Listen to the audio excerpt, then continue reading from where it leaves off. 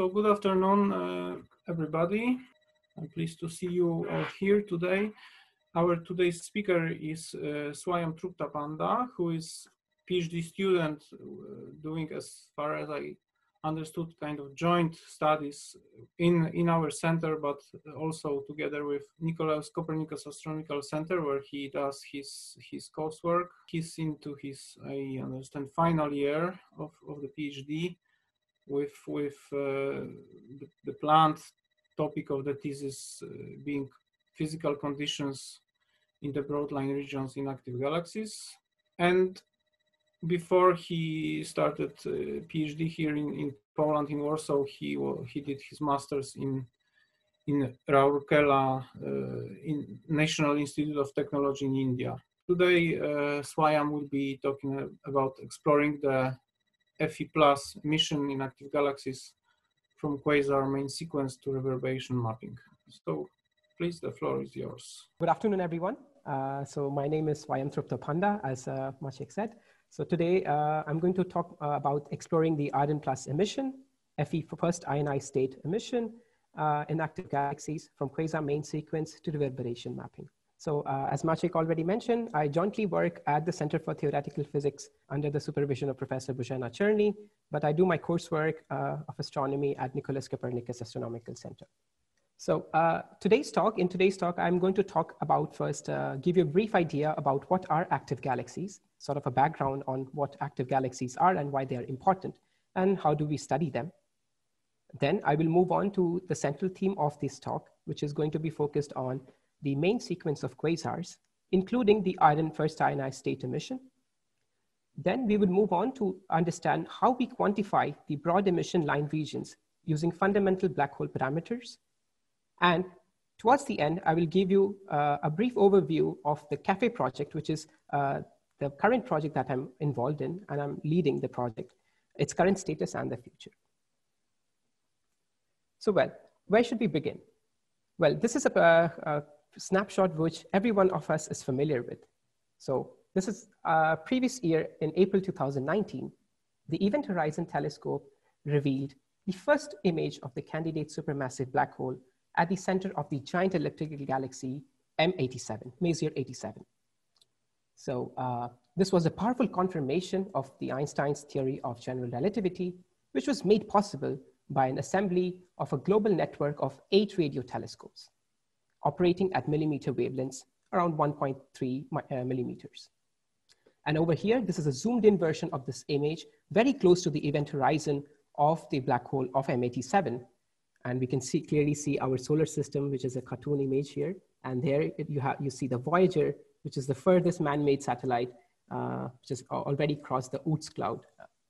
And this image uh, over here, uh, the shadow of the black hole is about 3.7 light days and uh, at an unprecedented resolution of 20 micro arc seconds. Fast forward to this year, uh, well, a month ago, uh, on 6th of October 2020, the Nobel Prize of Physics was jointly awarded to Professor Roger Penrose, Professor Reinhard Genzel, and Professor Andrea Ghez for the discoveries of one of the most exotic phenomena in the universe, the black hole.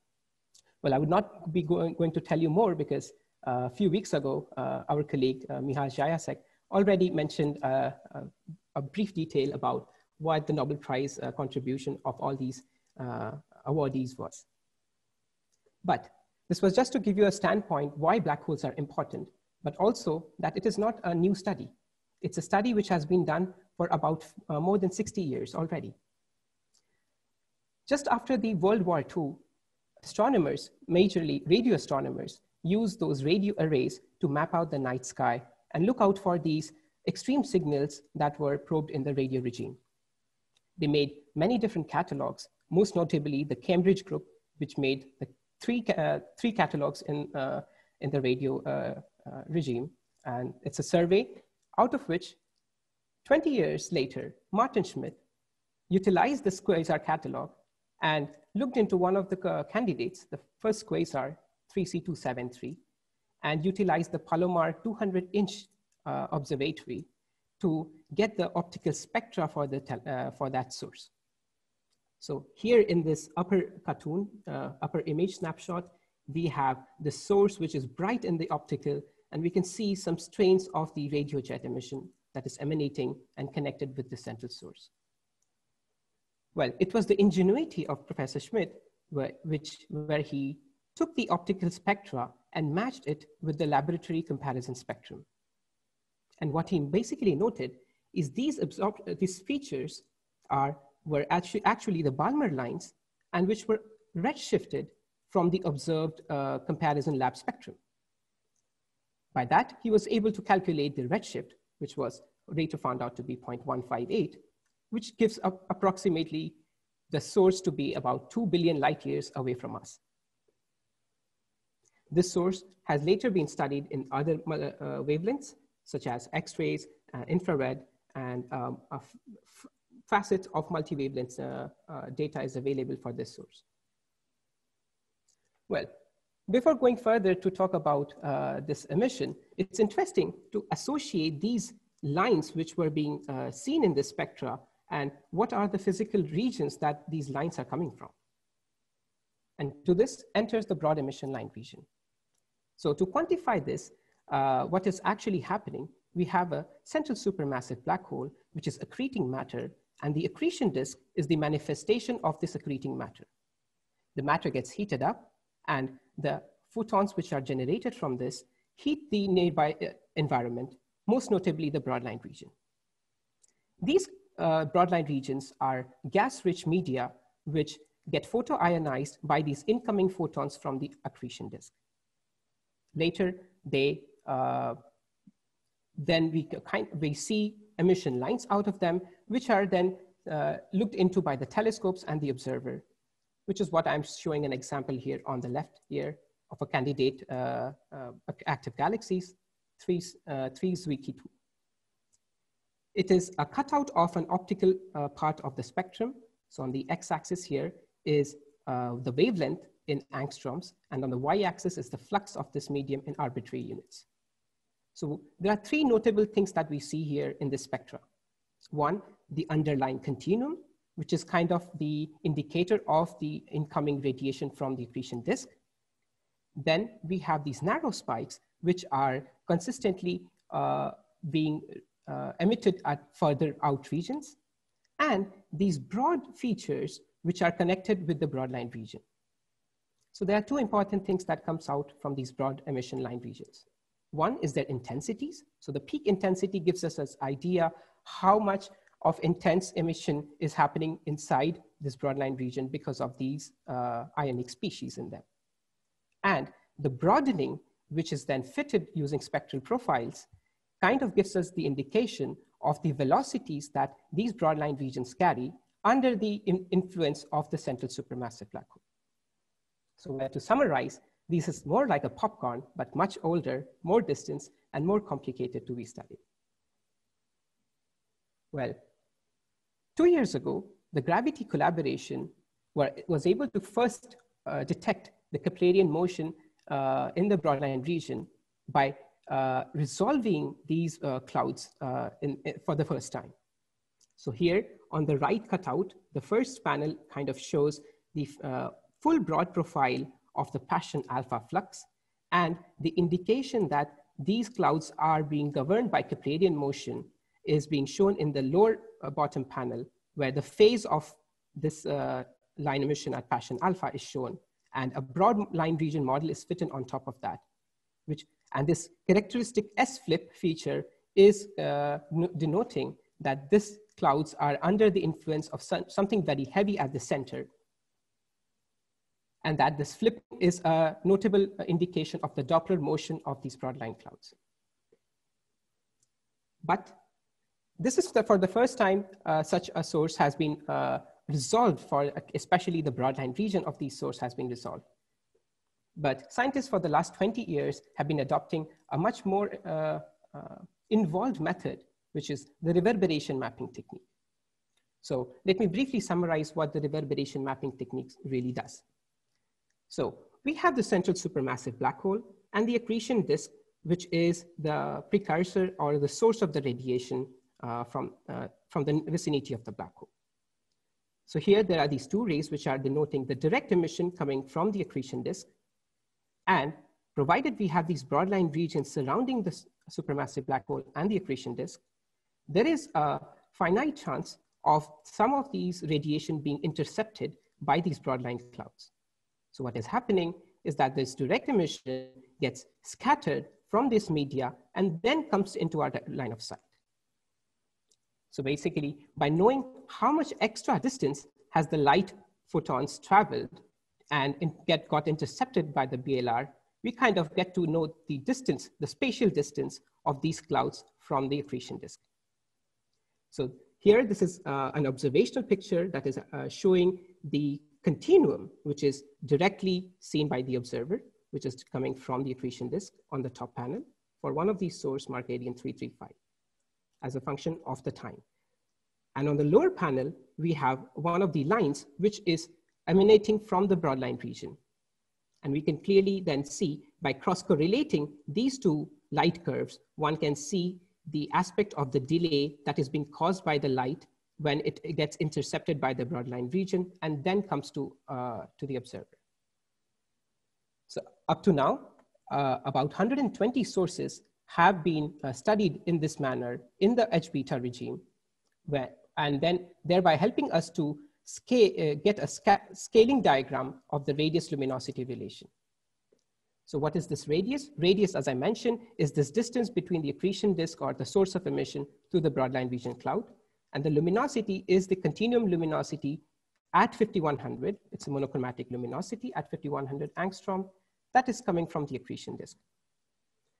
Now, now we have two information together.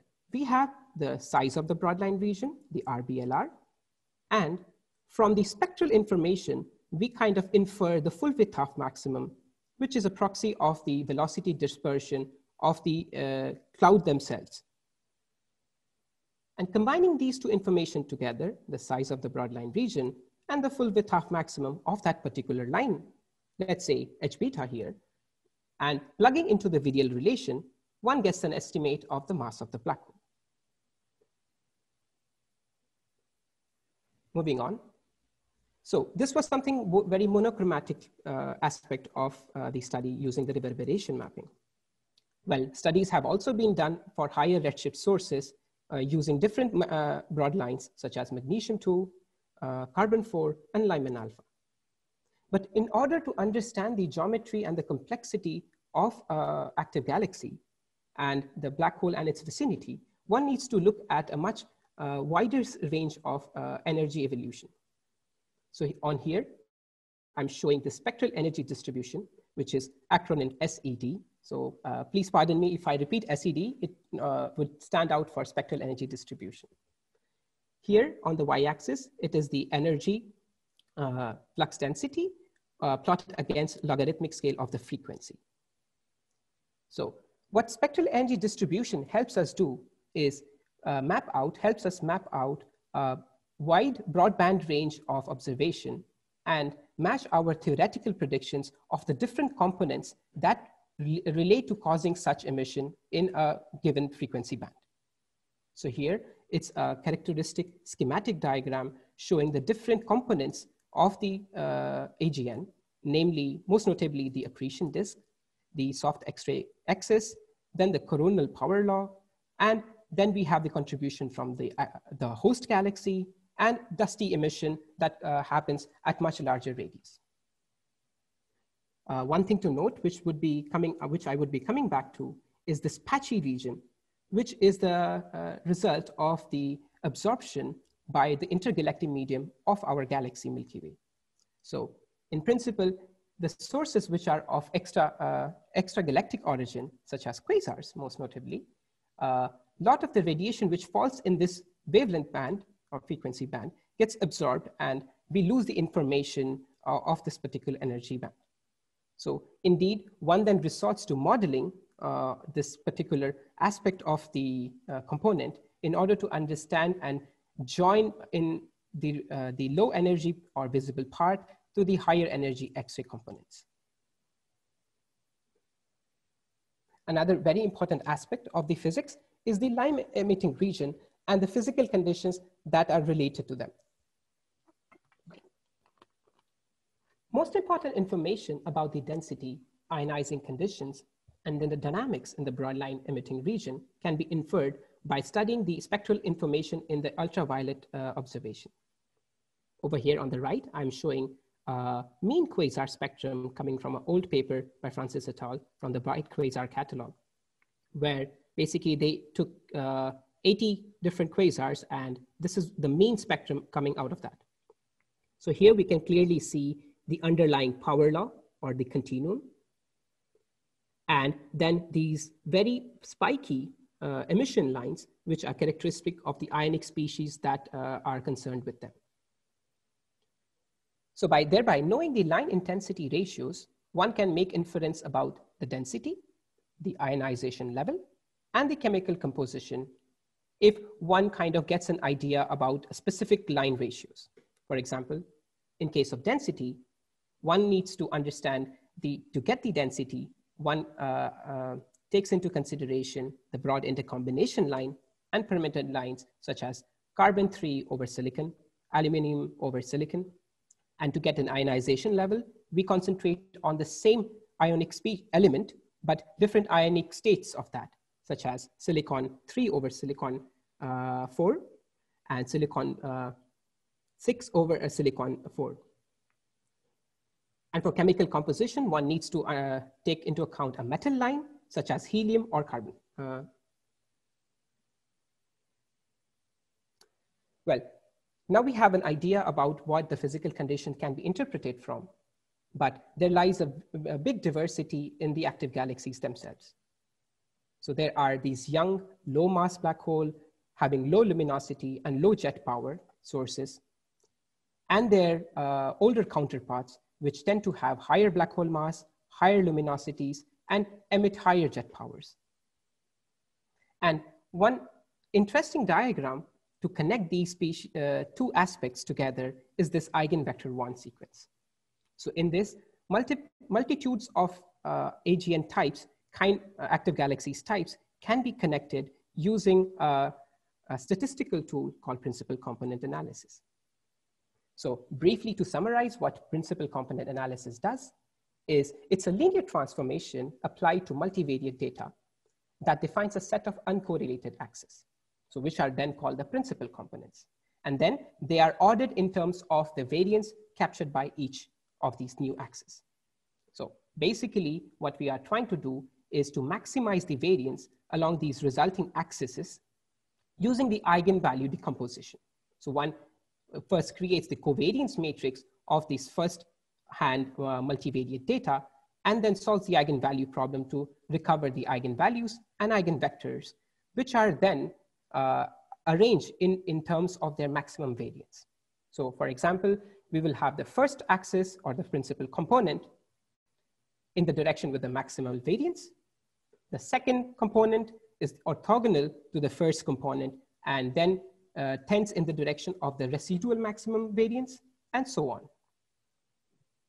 So this is a very uh, powerful technique to do dimensionality reduction and thereby try to infer and give us idea about a multidimensional set in terms of much simplified vectors.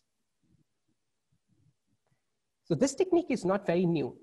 This is the main idea behind the schema of eigenvector one, which uh, in the first place was done by Boroson and Green back in 1992. In their work, they utilized 13 spectral properties, which was generated or obtained by studying the spectra of 87 low redshift uh, type 1 quasars. Here I should uh, mention type 1 are those sources where we have uh, an uninterrupted view of the central nucleus and is not obscured by any me other medium such as the dusty torus. So we have a clear line of sight view of these source of quasi-stellar objects or quasars. And they were utilizing this bright quasar catalog at that time and also had information for optical, radio, and X-ray continuum. So altogether, they were able to implement this principal component analysis methodology and recover few of the eigenvectors. The most prominent of them was the eigenvector one, which was the anti-correlation between the optical iron 2 emission to the uh, forbidden O3 emission. Oh, I forgot to mention here that spectroscopy uh, or people uh, in astronomy, we notably use the nomenclature of the line element followed by the uh, Roman numeral, where, for example, if you have a neutral atom for helium, it will be denoted helium-1. So here, Fe plus is equivalent to writing Fe2. Also, in their study, they noted that at the peak uh, oxygen-3 forbidden line intensity at 5007 angstrom was strongly correlated with the full width half maximum of the H beta emission. Fast forward 20 years, we now have plethora of data and surveys to help us identify this sequence in much clearer picture. Here, in this notable work by Shen and Ho in 2014, they draw the optical plane of the eigenvector 1 sequence. They undertook 20,000 of the Sloan Digital Sky data release 11 quasars and plotted them in the same diagram where, which was actually first obtained by the analysis of Boroson Green in 92. So just to uh, focus here on this plot, on the x-axis, there is this quantity RFE2, which is basically the iron emission, Fe2 emission within 4434 to 4684 angstrom, normalized by the broad H beta flux. Uh, just to give a much more clear idea, here on the top panel, I'm showing a cutout of the spectra, which is between 44 to 5500 angstrom, that is most notably the optical part. We have this broad H beta line, we have the O3 emission, and there are these two efficient bumps, uh, clear bumps of Fe2 emission. And the one that was actually used by Boroson and Green is the blueward part of the Fe2 bump, which is notably known as the 4570 uh, blend. So this is the exact same quantity which was used later and is consistently being used by uh, researchers to denote this quantity RFE. On the y-axis, we have the full width half maximum of H beta. This is the broad uh, H beta emission, as I mentioned, also being used in the reverberation. And the color coding is done with respect to line width equivalent width of oxygen 3. And notably, this is called the pizza diagram, and I will come to tell you why this is so difficult to use this diagram to understand a sequence-like picture, which notably is seen for the Hertzsprung-Russell diagram for stars, where we, one has luminosity and the temperature, and knowing the luminosity and temperature, one can pinpoint on a stellar sequence and get an idea of the evolution of the star. But for quasars and active galaxies being more extended sources, it becomes more challenging. And I will briefly illustrate why this is more challenge and how we tackle this challenge. But before going any further, it's important to know why Fe emission, iron plus emission, is important in active galaxies and why do we study that? Most notably, the aspect of iron emission relates to knowing the energy budget of the emitting gas. And by knowing the abundance, by knowing how much iron emission is coming from these broadline regions, we could get an idea of the cosmic time it follows, and thereby utilize this to verify cosmological parameters. The iron emission forms by a plethora of different uh, physical mechanisms.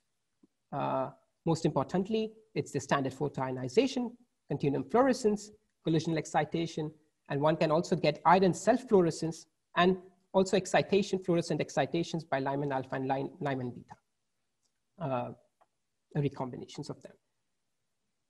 So here I'm showing a uh, shorthand iron Grotrian diagram, which is uh, not complete, uh, complete in any sense. But just to illustrate, there are these different uh, transition and energy levels that relate to different uh, spectral regimes of iron emission, ranging from UV, optical, and infrared.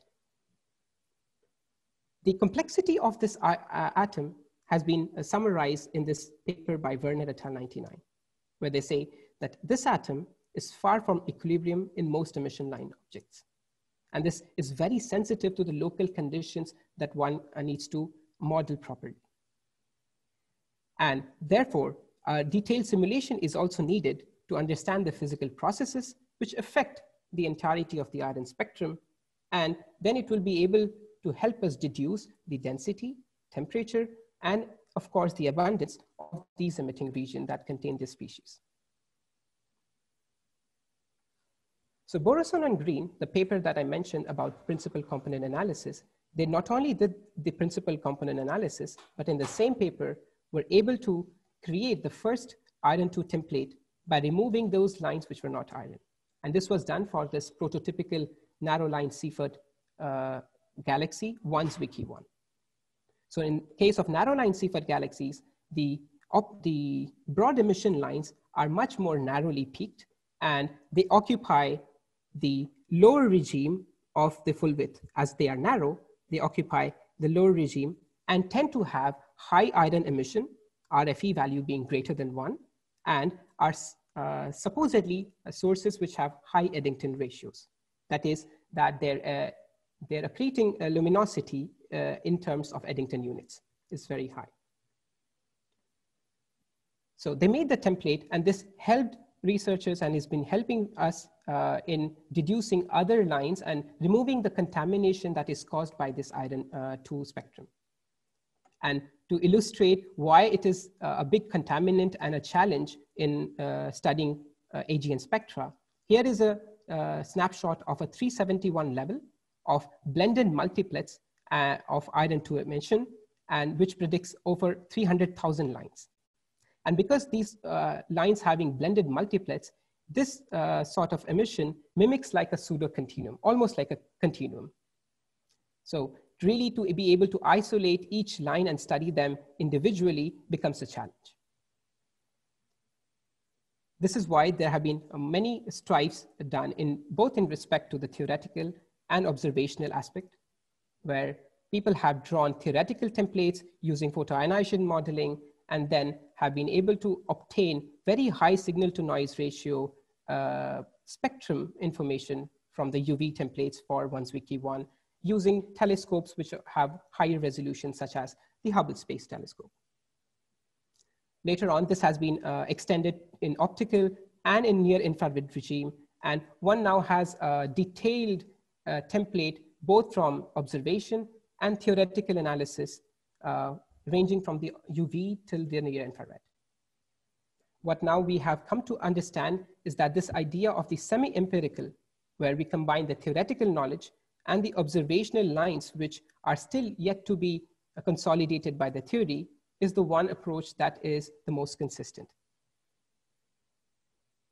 So to briefly summarize here at the first step, the idea and the emphasis on knowing and understanding the physical conditions in the broadline region of active galaxies is quite important and then relating in them in terms of fundamental black hole parameters is a challenge which we uh, undertook.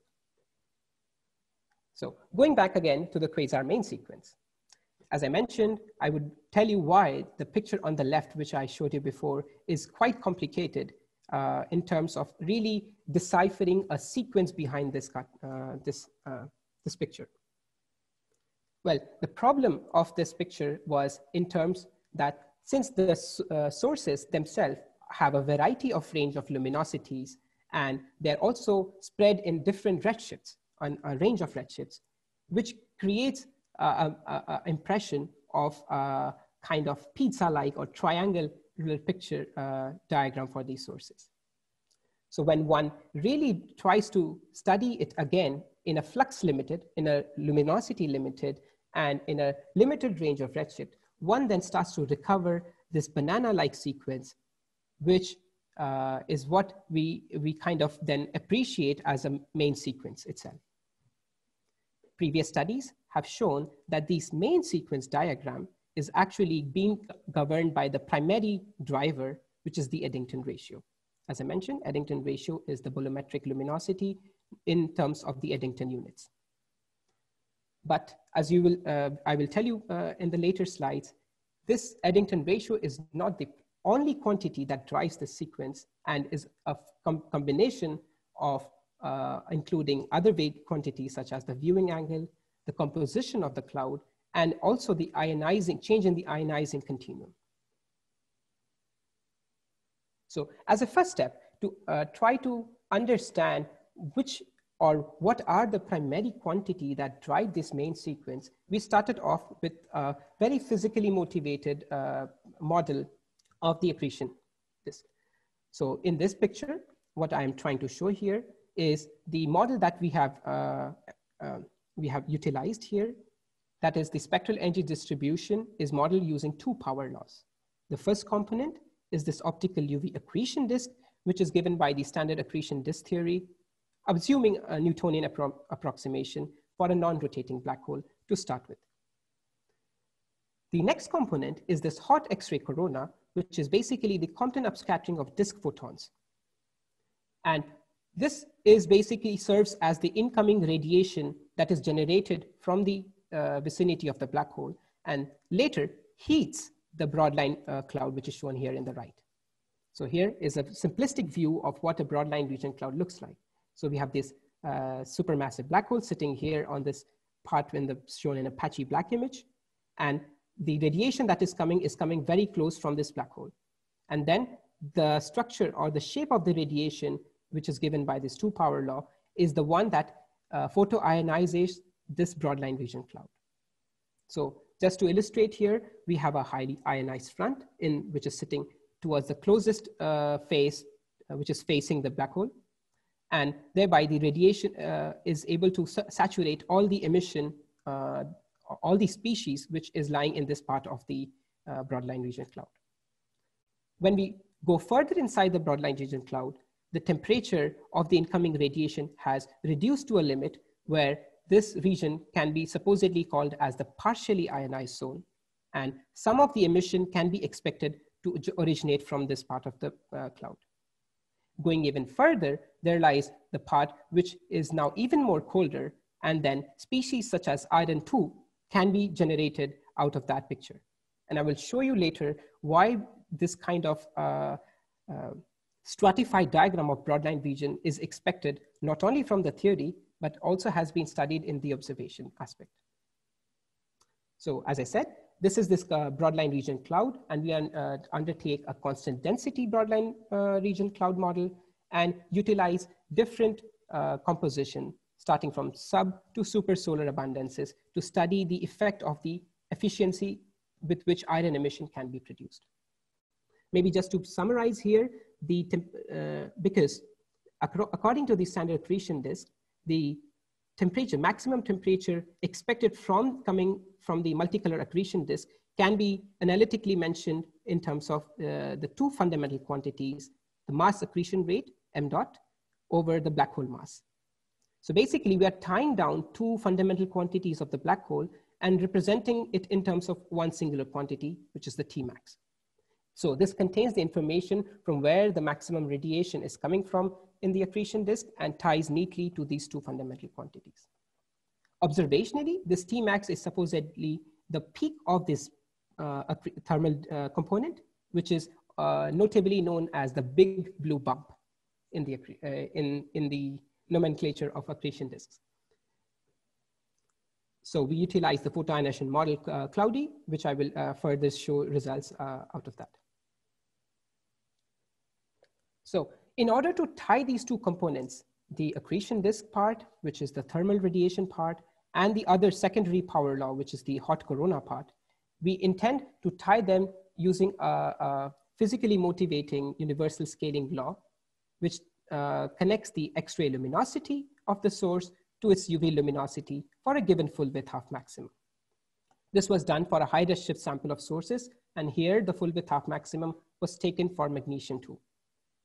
But by tying these two together, we are able to physically connect the both components and neatly tie them to a single uh, geometry. And the next step was to uh, where should we put the broadline region cloud such that we can effectively see the radiation uh, and emission in iron and H beta. For that, we again use a classical relation which measures the distance of the broadline region, which I mentioned was uh, was done using the classical reverberation mapping technique. So it's the same diagram shown here again, where on the y-axis, we have the broadline region size or eh, the RBLR in light days. And on the x-axis, we have the monochromatic luminosity at 5100 angstrom. So these are a bunch of sources. And then it, this line on top uh, is agreeing to standard photoionization theory, where the radius is proportional to luminosity to the power half. All right. So now we have tied and uh, placed our broadline region cloud at a distance which is given by this relation uh, of radius and luminosity and have uh, characterized the two components neatly together by using this observational relation.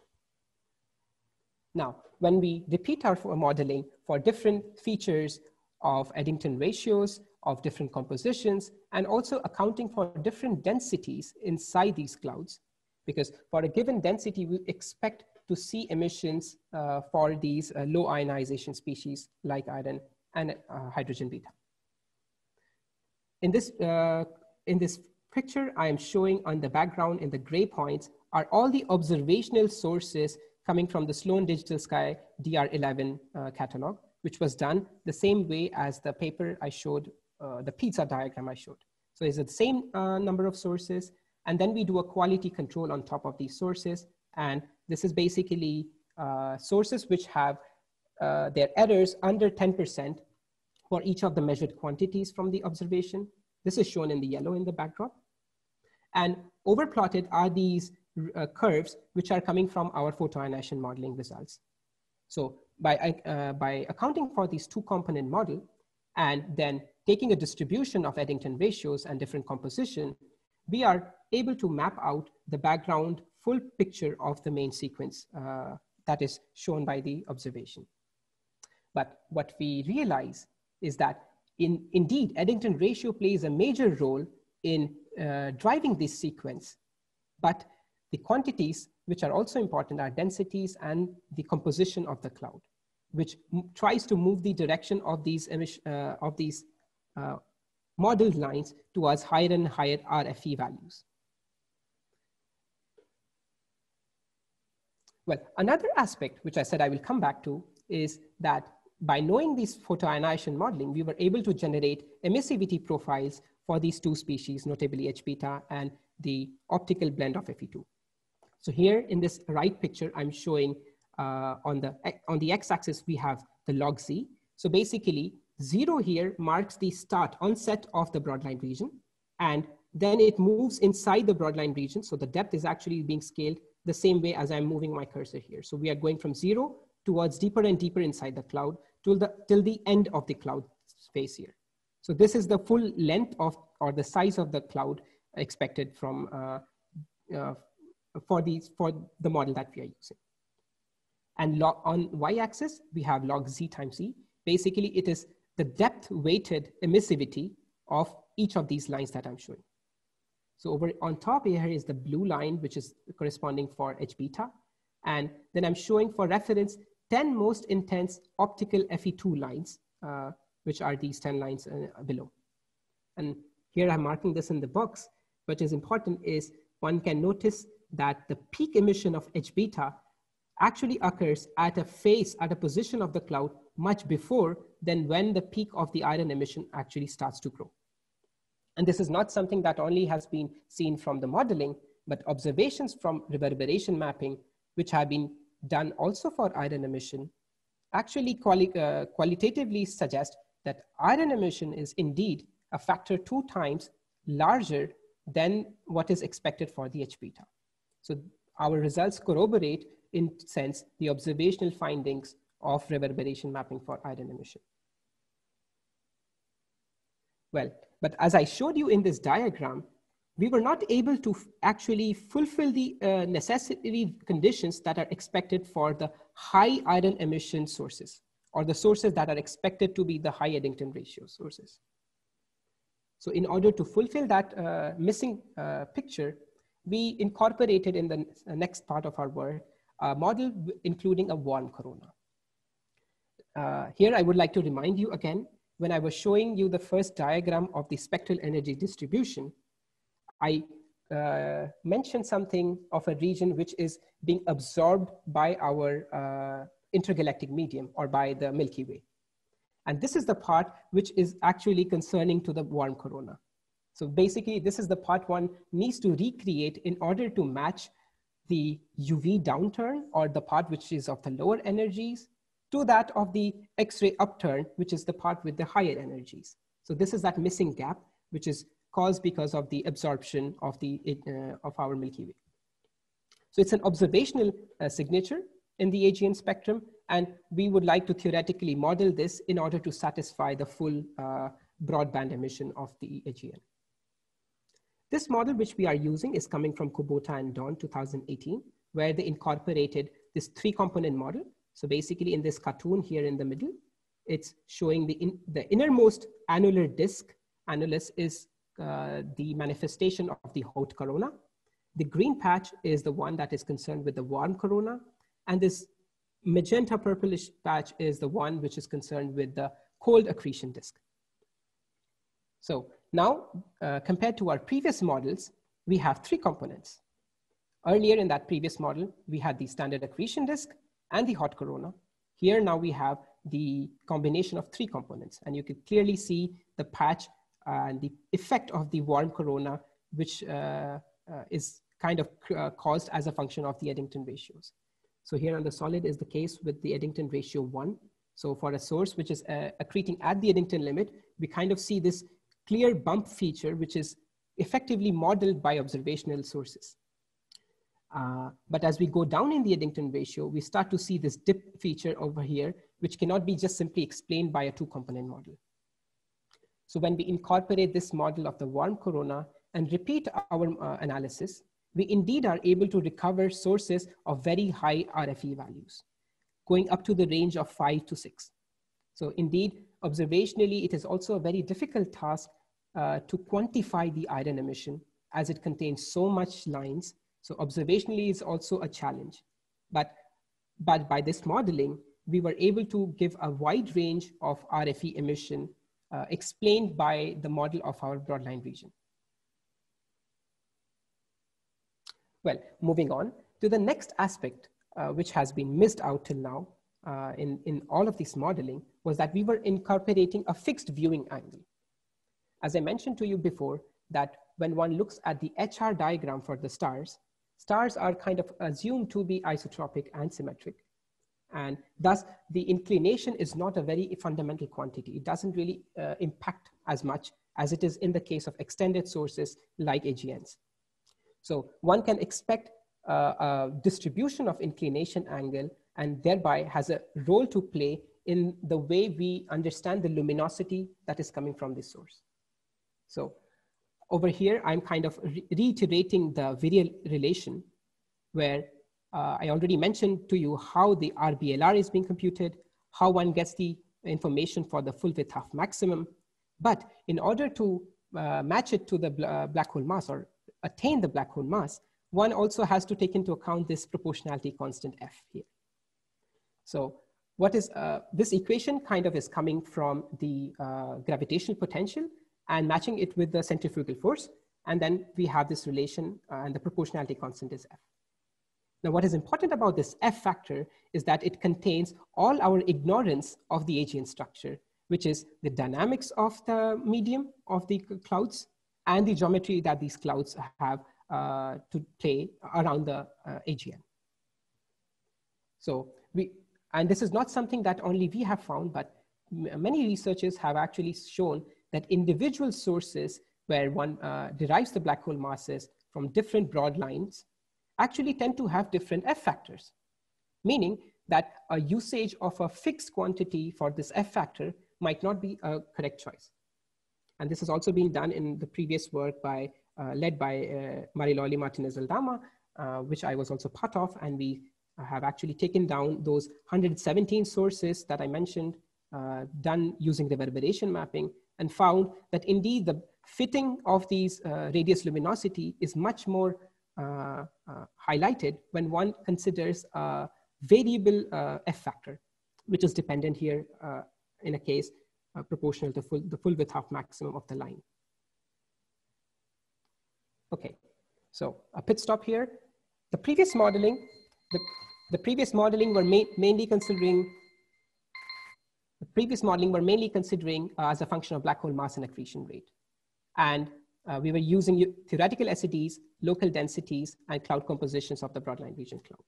Now we incorporate the effect of the viewing angle, F factor.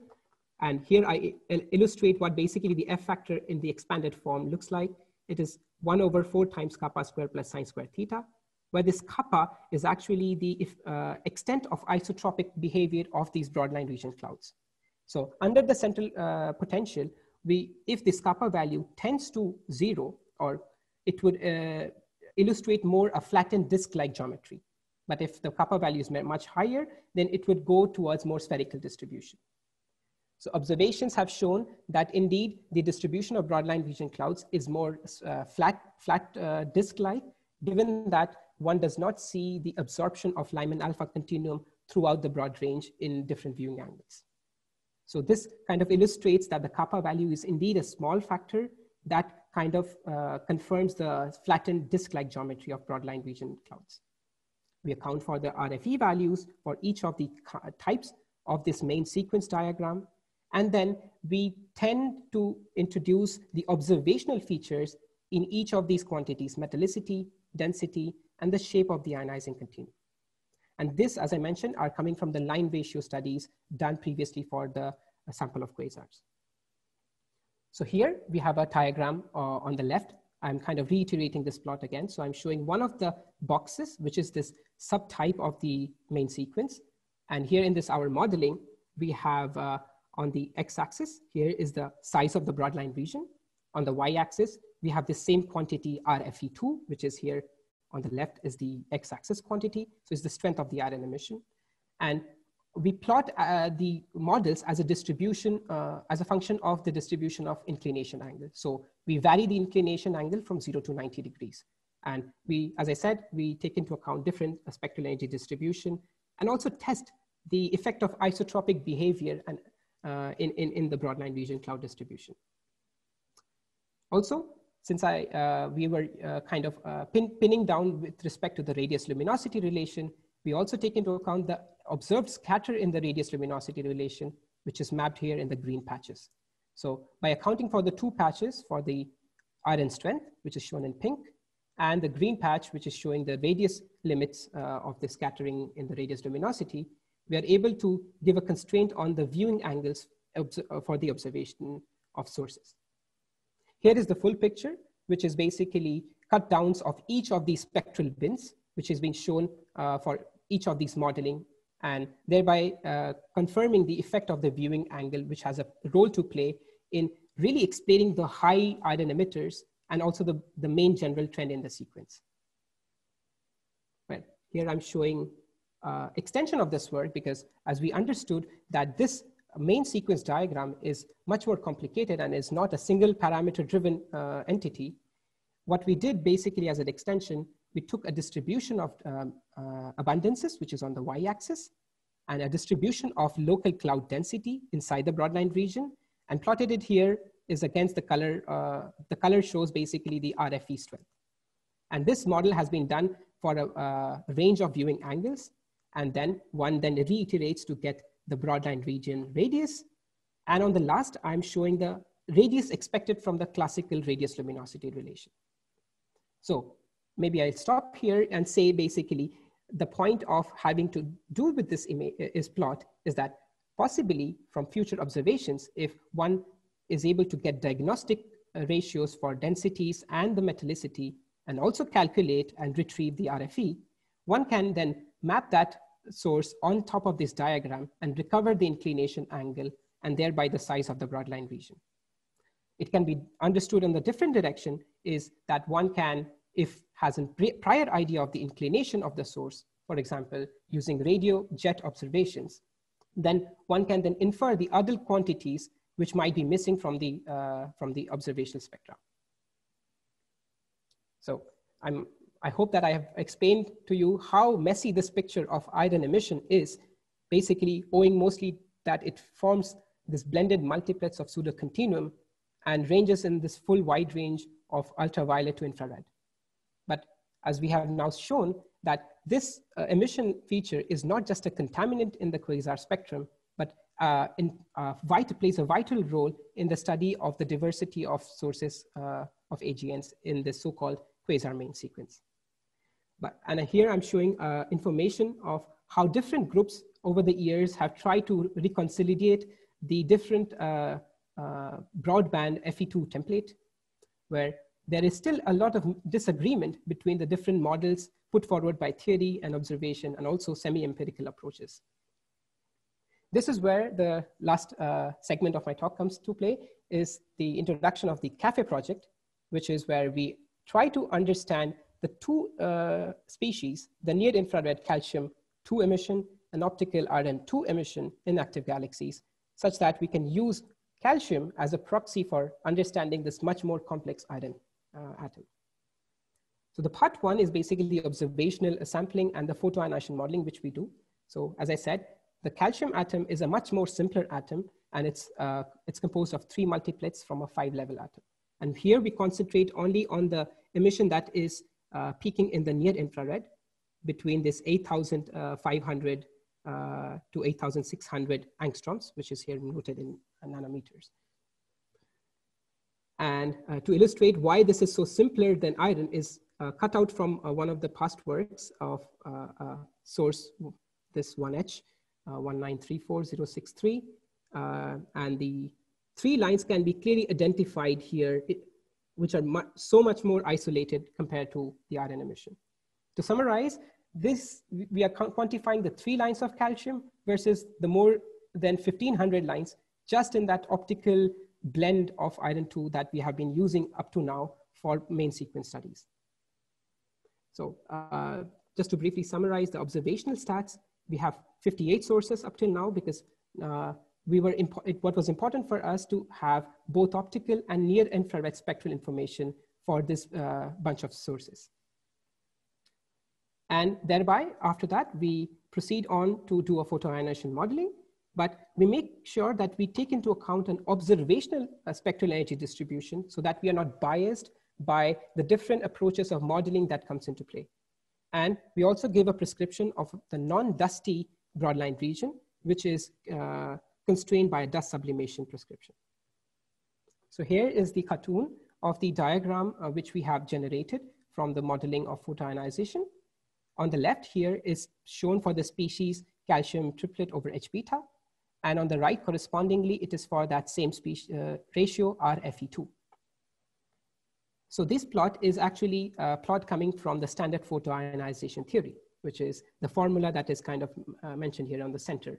So the parameter U or the ionization parameter is an indication of the number of photoionizing photons, that is QH over 4 pi r square, as a function of the density NH. So technically by knowing, a, uh, giving a distribution of ionization parameter and density, one can then map out the, uh, for a given uh, source for which we know already the number of photoionizing photons, the distribution of uh, what is the emission uh, related to those two line species. So here we concentrate on these two line species.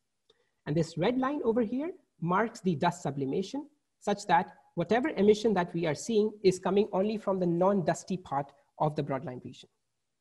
As we can see clearly that the two species are very much coexistent and behave, uh, have a very good agreement in terms of their line emission. Not only that, we also find evidence that iron is indeed embedded in the broadline region. So this is a plot from past studies from observation where they have defined the ionization and densities from UV spectra and here we overplot these sources on top of our uh, photoionization model. And clearly there is a striking agreement for these sources suggesting that iron 2 is in indeed inside the broadline region.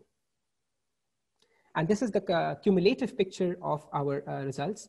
So here we not only test on a base model of the broadline region, that is considering a solar abundance and clouds having sizes of up to 10 to the power 12 centimeter.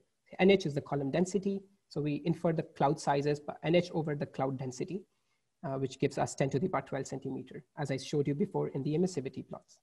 And but we also try to take a distribution of uh, compositions of the cloud at different sizes of the cloud and try to see if we can effectively model by taking this single uh, source approach, uh, because we utilized uh, ionizing continuum of source one's Zwicky one, but try to extend it throughout the uh, source distribution.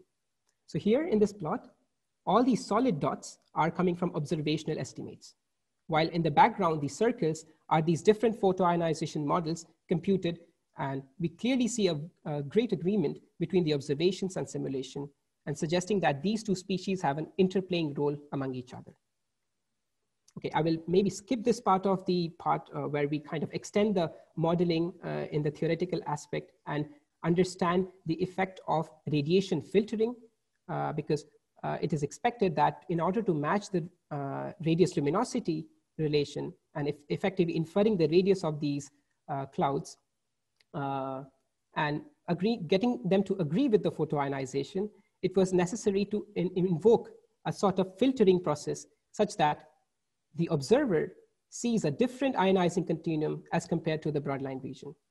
And by doing so, we were able to not only match the size of the clouds where they are from the uh, black hole, but also generate system, uh, synthetic equivalent widths and were able to also get be uh, best agreements with the observed line ratios for the two species, iron and calcium. And in the most recent work, which we are doing right now uh, with Mary Loli and others, is that we are trying to uh, understand the, the big uh, information that we have from the observational aspect. So here it's the correlation matrix of all the uh, source, uh, quantities, physical quantities and observed quantities that we have obtained from our data sample. On the top plot here is the clearly uh, seen RFE-RCAT relation, which I showed you before.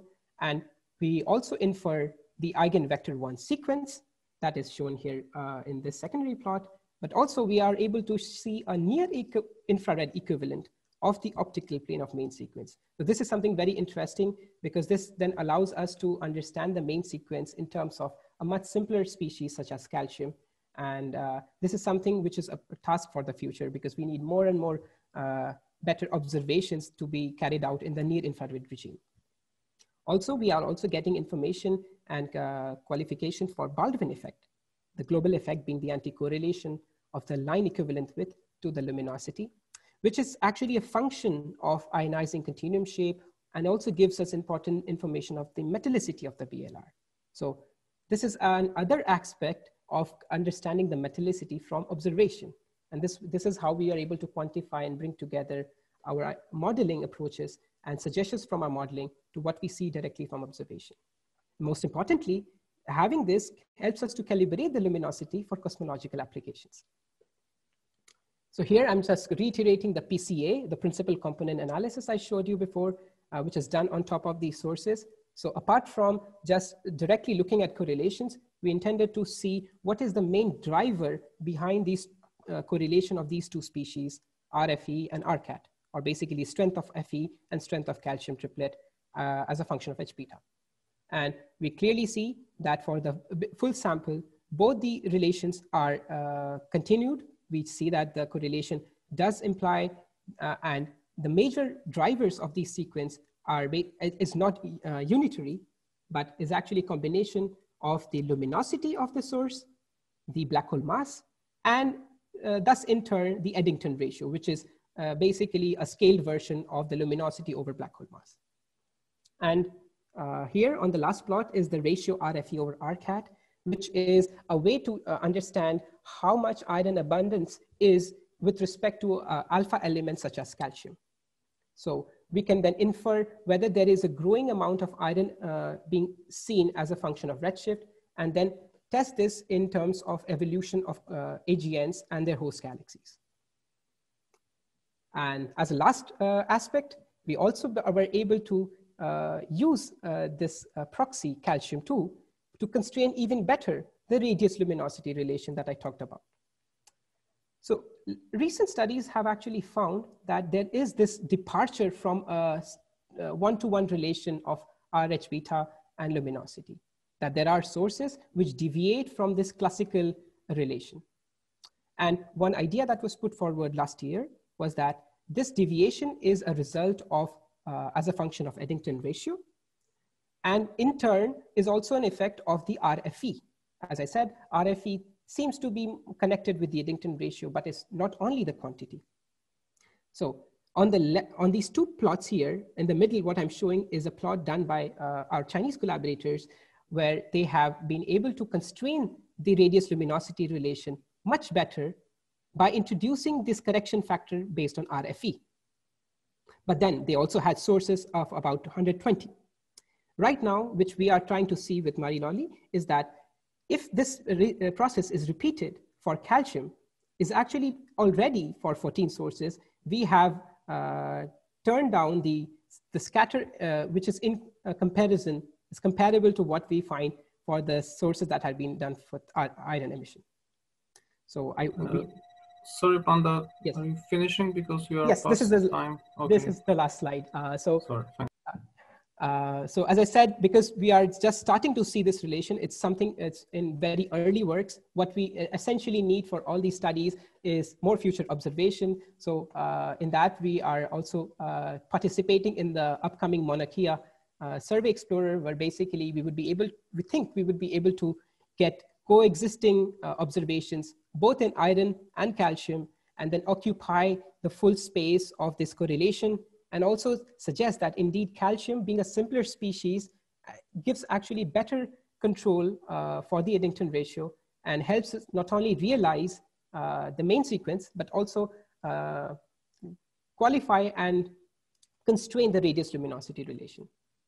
Well, uh, so to summarize, so as I mentioned, the diversity of active galaxies is being tried to un be understand uh, by uncovering the physical conditions of this gas, gas-rich media, which is the broadline region, in the vicinity of the supermassive black holes. And we try to tie down these uh, diversity in terms of fundamental black hole parameters. We see that the iron emission in these broadline regions of type 1 AGN is, is, a, is a fundamental characteristic of the main sequence of quasars, which allows us to understand the diversity that is present in these sources. But also, it's been useful to standardize the radius luminosity relation and hence they can be used in the future to be as probes for cosmology. But owing to the complexity of the iron emission, we, it led us to uh, search for effective proxies. Such, and the one proxy that we find as a reliable candidate is the calcium emission. And this further allows us not to uh, reiterate the main sequence and radius luminosity plots, but also to study the coevolution of active galaxies and the, their host galaxies. Thank you. Thank you very much for, for the nice and detailed talk. Uh, we are a bit over time, so maybe time for one, two questions if there is anything. Very briefly, I will ask a brief question then. Could you shortly say what does it need? Well, what would what is needed for these to to to really become a probe for cosmology? I mean, uh, to for the radius luminosity relation, for instance, to be at the same level of robustness as some other uh, relations used in cosmology, like I don't know, supernovae type 1a or. So one, this is a part of the project that uh, our group uh, under Professor Czerny is trying to uh, do. Is that uh, we wanted to see if using quasars we can. so the important aspect is to know, get the idea of the luminosity distance, and this is where the aspect of radius luminosity plot that I'm showing here is coming into play. So any intrinsic deviation that we see in this radius luminosity kind of uh, carries forward when we kind of want to estimate the luminosity distance and hence carries forward when we want to uh, uh, try to constrain the uh, models such as the lambda CDM model for that. So one way is really if, I mean, hypothetically, one, if one was able to get just a clear one line uh, relation for all the sources, that would have solved most of the problem that, that is coming from the scatter. So it's very important not only to reduce the scatter, but also to cover a wide range of luminosity such that we can cover uh, uh, higher redshift sources, which are effectively more luminous.